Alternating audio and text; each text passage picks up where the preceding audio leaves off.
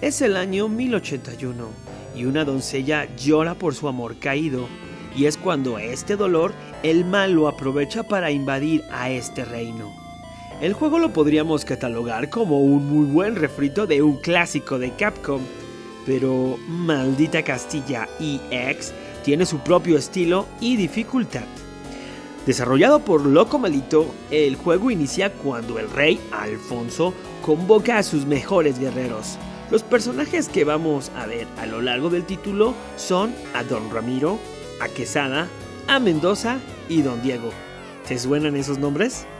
El juego es tipo side-scroll y completamente lineal, pixeleado y con ambientación que te recordará a las más antiguas maquinitas.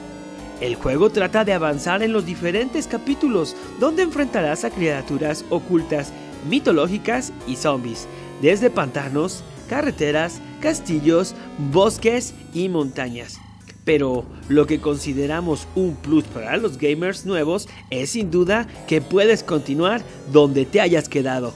No sin antes haber vendido tu alma. El personaje cuenta con tres corazones que representan tu nivel de energía. Y lo mejor es que podrás encontrar armamento a lo largo del juego, en cofres y con algunas hadas. Maldita Castilla y X lo podrán encontrar en PC, Xbox One y ahora en PlayStation 4. Y sin duda te sacará gritos de frustración y querrás abandonar el juego, pero ese ego gamer que tienes hará que vuelvas una y otra vez.